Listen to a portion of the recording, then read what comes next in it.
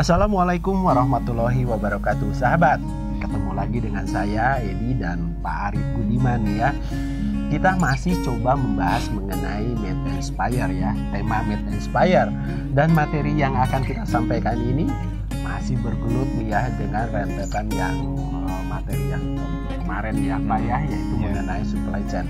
Nah di sini uh, kita akan membahas mengenai uh, supply chain yang uh, efisien dan responsif ya Pak ya.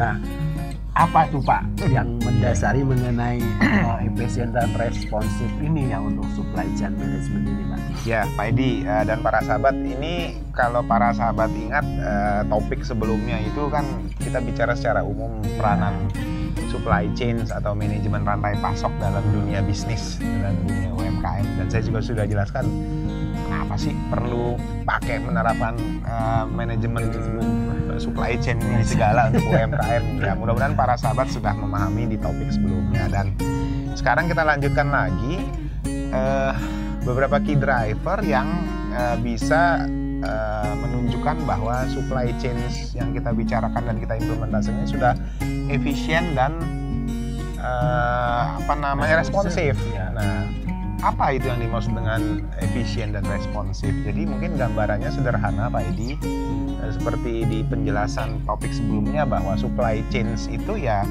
hubungan interaksi semua pihak mulai dari ujung ujung kiri ya.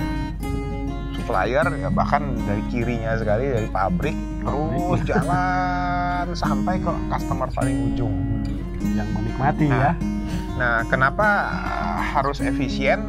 Ya tentu bukan maksud saya apa yang dimaksud dengan efisien? Ya efisien tentu jangan sampai proses-proses yang dilakukan itu juga proses-proses yang tidak terlalu memberi uh, value. value ya artinya tidak perlu melakukan itu juga nggak apa-apa gitu atau tidak perlu uh, menyediakan sebanyak itu juga nggak apa-apa gitu loh misalkan seorang supplier berpikir kalau dia bisa uh, men-serve uh, kebutuhan kota Bandung dengan hanya membuka dua outlet di kota Bandung, kenapa harus buka empat buka lima gitu kan? Ya, Itu akan menjadi tidak efisien.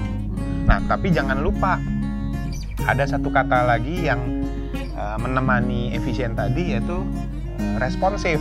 Responsif ini biasanya dilihat dari kacamata customer, customer penerima jasa dari si uh, supplier. Ya. Uh, apa yang dimaksud dengan responsif? Pasti para sahabat juga tahu lah. Banyak customer para sahabat yang uh, komplain atau memberi saran, Pak, kalau bisa, ini bisa nggak? Saya cuma telepon aja, pesan kue bikinan bapak, ibu. Itu dalam hitungan setengah jam sudah sampai misalnya. Atau bisa nggak? Kalau pesan yang selama ini tiga hari baru jadi bisa nggak dua hari? Ya itu selalu yang diminta oleh uh, pelanggan atau customer jadi yang dimaksud dengan uh, supply chain yang responsif dan efisien adalah proses supply chain yang di satu sisi memenuhi unsur-unsur responsif artinya memenuhi keinginan dari para pelanggan untuk terrespons dengan secepat mungkin.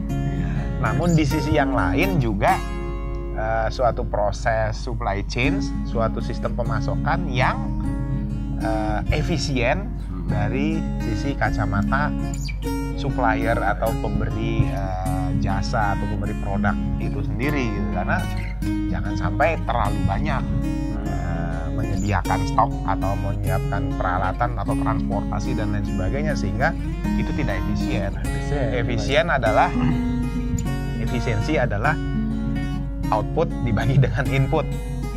Ya, outputnya segitu-segitu juga, tapi inputnya banyak banget gitu Nah, outputnya tetap sekian, tapi inputnya harus dua, tiga lebih dari yang semestinya. Berarti efisiensinya lebih rendah atau lebih ya, kecil. Ya.